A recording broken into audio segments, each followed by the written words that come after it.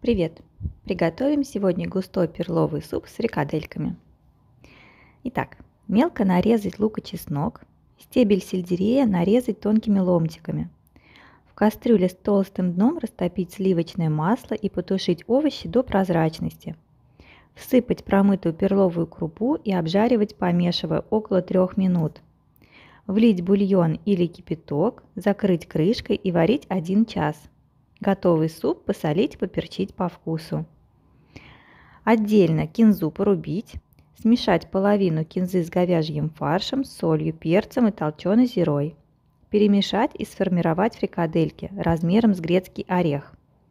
В сковороде нагреть оливковое масло и обжарить фрикадельки до румяности по 5 минут с каждой стороны. Подавать суп с фрикадельками и оставшейся кинзой. Желаю вам приятного аппетита, а перечень ингредиентов в описании к этому видео. Пока-пока.